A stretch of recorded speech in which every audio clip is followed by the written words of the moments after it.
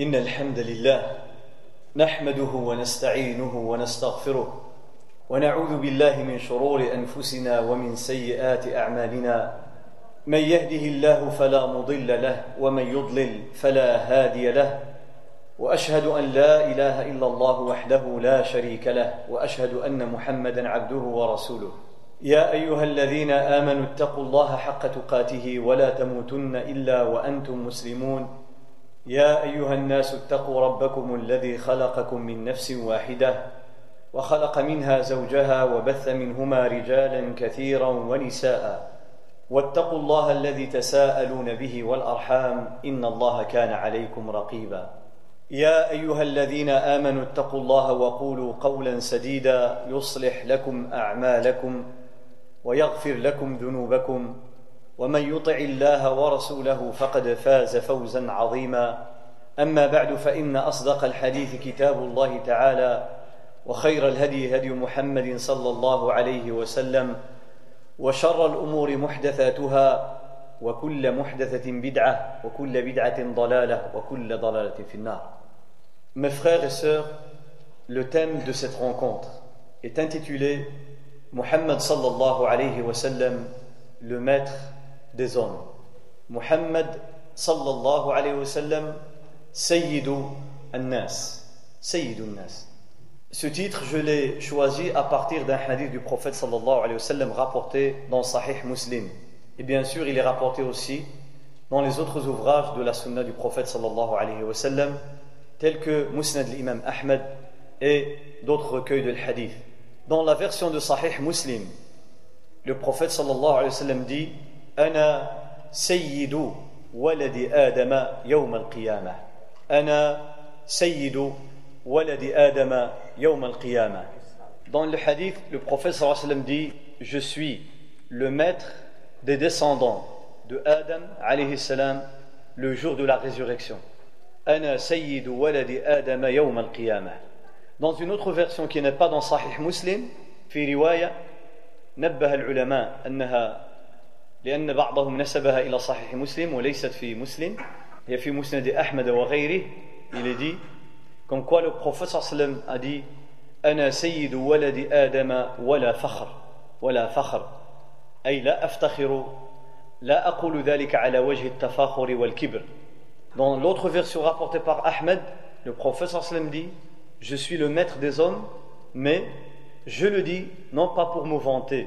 Et l'imam Nawawi fait le commentaire pour nous montrer quand est-ce qu'il est permis de dire que le prophète sallam est Sayyid. Alors que le prophète sallam lui-même dit, quand on lui a dit que tu es Sayyid, maître, il dit alayhi salatu wassalam, As-Sayyid Allah. Le maître c'est Allah. Alors vous voyez qu'il y a deux textes différents. Un dans lequel on posa la question au prophète sallam en lui disant que tu es le maître, Sayyid. Il dit le maître c'est Allah. Et dans l'autre, le prophète dit je suis le maître des hommes, يوم القيامة.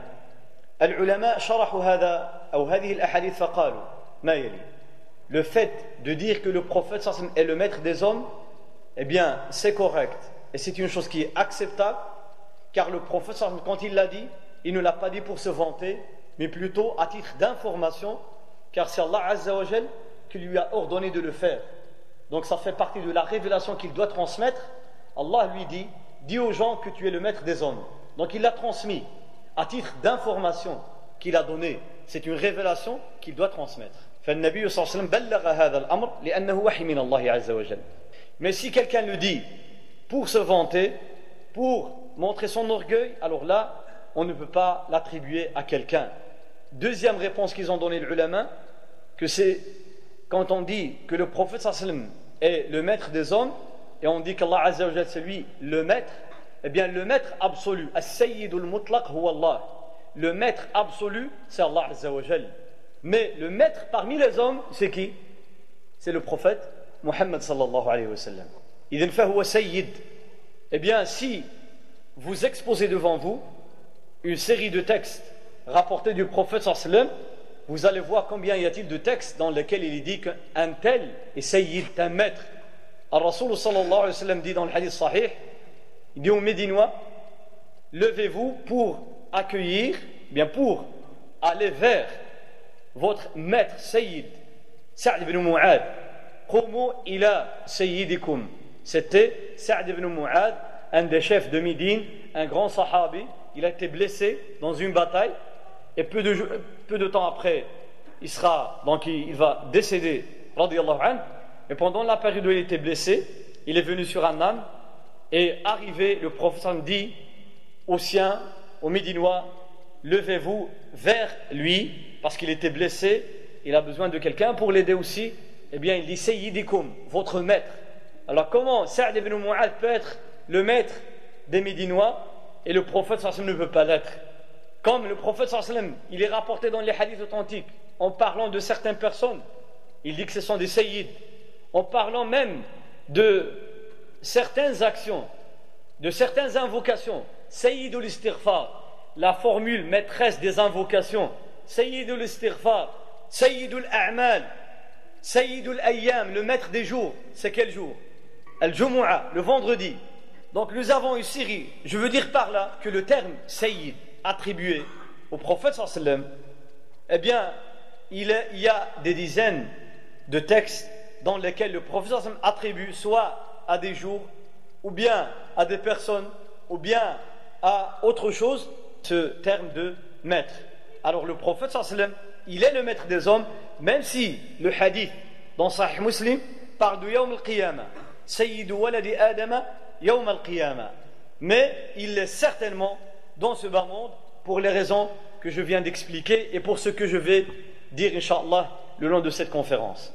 Ça, c'est une première partie de cette conférence, de vous montrer qu'il est tout à fait légal, islamiquement, de dire du prophète que c'est un Sayyid, alayhi. Lui, il le dit, je suis le maître de la descendance de Adam, c'est-à-dire de toute l'humanité, yawm al-qiyamah. Mais avant de vous donner une image détaillée, pourquoi le prophète est le maître des hommes de toute l'humanité, depuis Adam jusqu'à la fin des temps, et que le fait que quelqu'un ou certains l'insultent, ou se moquent de lui, ou le critiquent, ou dessinent des caricatures ou quoi que ce soit, ça ne peut jamais entacher ce grand homme qui est le prophète Mohammed car c'est le maître de l'humanité.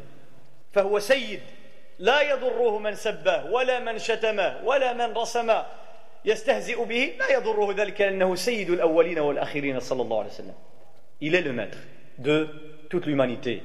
Je dois introduire à ce sujet par donner un aperçu sur ce qu'étaient les Arabes et l'humanité avant l'avènement du prophète sallam.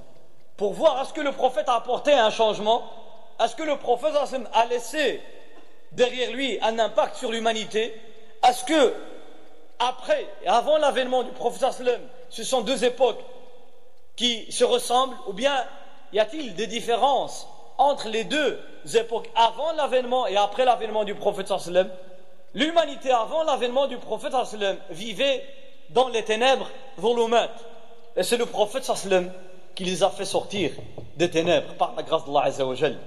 Chez certains peuples, comme en Inde, chez les hindous, on adorait Allah Azzawajal par les impuretés et les saletés.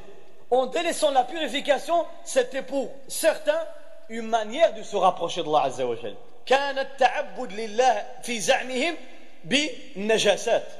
Et même la société était divisée en quatre classes sociales.